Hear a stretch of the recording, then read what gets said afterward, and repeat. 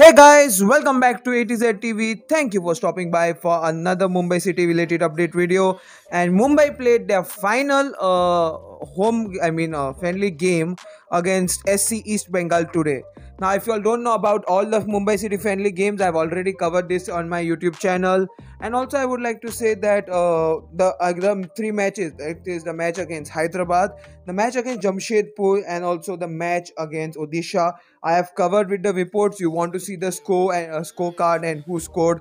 Please click on the iCards, okay, of the channel, or you can just go in the you know channel uh, section. I mean, or the video section or the playlist section to find out. So in SC East Bengal versus Mumbai City, uh, SC East Bengal held Mumbai City for 1-1 pre-season draw. Okay, so it was a draw uh, with the scores being one all.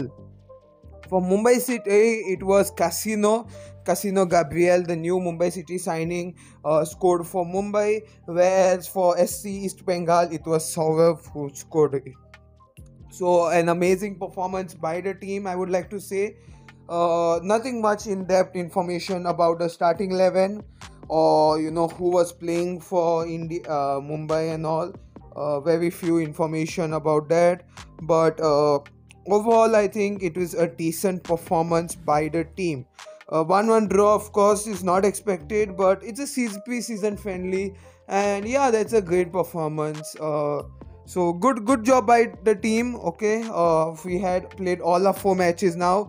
So now it's directly going to be the first game of the you know the first uh, the first game uh, which we are going to play is versus fc goa. So on the 22nd of november which i'll be doing a live stream. So do subscribe and stay tuned for that uh, but it's going to be a very interesting day for Mumbai City.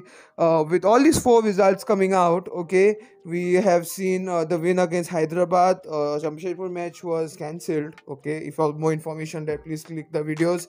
And also, uh, you know, also uh, we have also drew with Odisha and uh, now again another draw with SC East Bengal. So not those perform, not the results we were hoping for, but uh, let's see how that happens. You know how it goes up in the future. Hopefully Mumbai will uh, have a good victory and maybe a good cup run. Okay, I don't think we'll be winning any trophy anytime soon, but uh, yeah, it looks. Hopefully we can win. A, means you know at least ha- have a title defense. Uh, because see Sergio Lobera is not there. Some major players like I mean the Hugo Boumous are not there.